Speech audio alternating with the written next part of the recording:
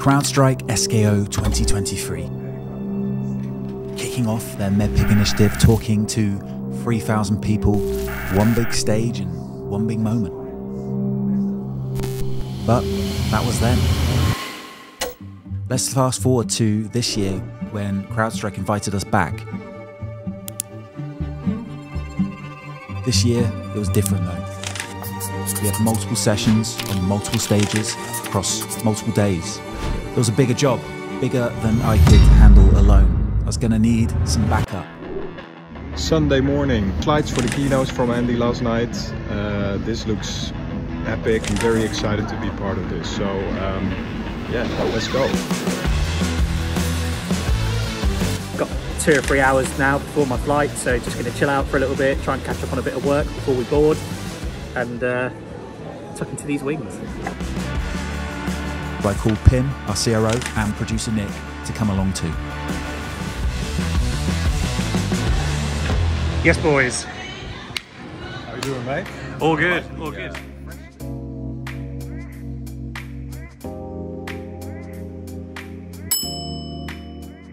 Right, Pim, got something to show you. Kind of a lot of work's gone into it. You know how we were talking about how you know we did the kickoff last year. They did the masterclass. You know, a number of like bits of training with us. They're gonna be like, oh no, more MEDDPICC training. So we wanted to kind of grab that and make kind of light of it, call it out, and then make it a bit more interesting. You know, we've got this year we've got the GTA theme. Mm-hmm. Do you remember the GTA rap from the first ever game? Yeah, I mean that goes way back, but I think I remember some of it. Yeah. I uh, might have done a version of. Well, you, you mean with you as a rapper? Yeah. That's it? I mean, yes. Ah, shoot. Here we go again. More MEDDPICC training.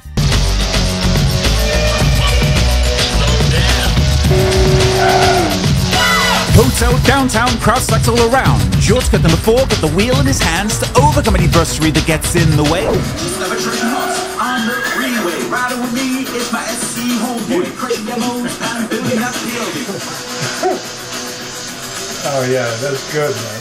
The sessions are somewhere at some point in the afternoon, right? So something like this to get like energy high at the very beginning. So I'm, I'm really excited about getting this onto the big screen. Uh, Andy and Pim at the moment are going through their presentation, and I'm trying to be really conspicuous, but I think they can hear me. Um, they're going through, David Attenborough documentary. they're going through final preparations for the big SKO tomorrow in their natural habitat.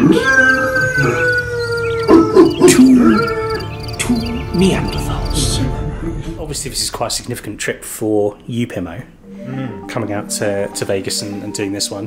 Yeah, absolutely. Because like, how how often do you get you know uh, a flight out to a place like Vegas for work purposes, and then you feel the responsibility and kind of the pressure that comes along with that to deliver, right? And and it's only like a four, 45 minute slot, like a couple of times, and we want to do the best job possible. So it's easy to get lost in in that pressure and that responsibility and kind of cut yourself short from enjoying any of it, right? So I think it's important to to recognize that for what it is. You've actually got your family here Yeah. uh, this time round as well. The kickoff for CrowdStrike last year was the same week, therefore it fell on Hugo's birthday. And you know, as a parent, you never want to be away for anything, any kind of big day, let alone a kid's birthday. He, he mentioned it at least once a month. Daddy, you're not going to be away for my birthday this year. Not going to be away for my birthday this year. Made me pinky promise that I wasn't going to be away. So when CrowdStrike called and said, "We want you back," I was like, "Ah."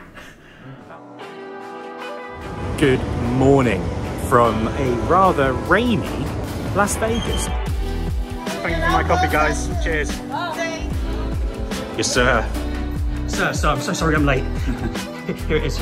Yeah. Don't be late again. So sorry.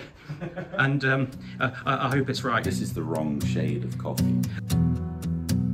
Something that, that Andy always does is like he puts the bar very high, right, in terms of like quality of content and, and delivery. So I don't take cues from TED Talks or books about how to present PowerPoint or anything like that. I take my cues from the best people in the world at capturing people's attention, the best people in the world at storytelling. Um, a great result by the end of this day, and then repeating it another six times tomorrow.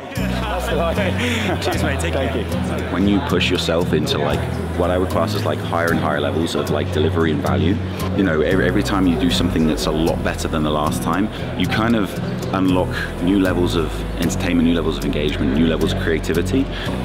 I don't know, like I just last ran through the deck about literally about 10 minutes ago and I was still finding things I was unhappy with. So I don't think I'll ever be happy, but I, I, I don't think it's a case of being a perfectionist. How you doing, man? Nice to meet you, sir. Fred Mellor. I, I love your memory classes.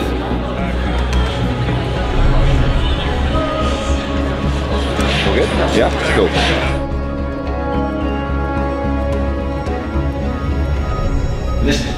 Really powerful sonorization. Exactly the sorts of things that the SDR can use to engage with the customer. Right message, right person, right time. Thank you very much for your attention. So much.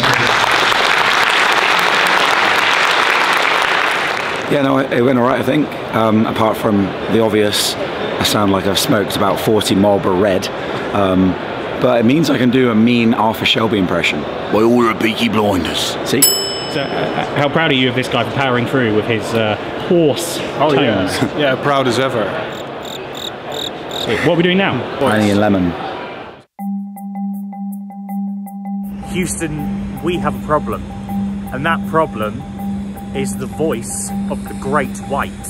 As you will have seen yesterday from the first session, uh, Andy was obviously battling his voice throughout, but it hasn't calmed down. And uh, the consensus is that um, it, it might even be getting worse because he's got a minimum of four sessions to deliver today.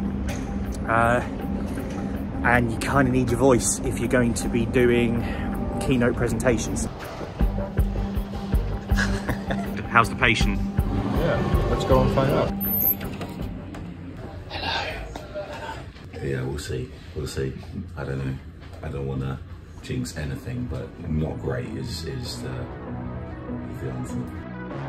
Not great felt like an understatement. A speaker needs their voice the same way a quarterback needs their arm. What's all this about? This is a lot of honey and a lot of lemon. By this point, I was about 50% honey and lemon, 40% cold and flu meds, and only about 10% Andy.